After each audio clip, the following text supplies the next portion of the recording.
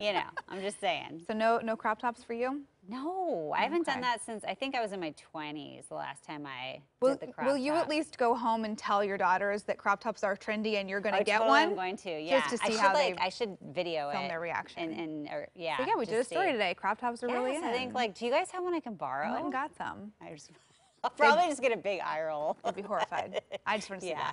that. Okay.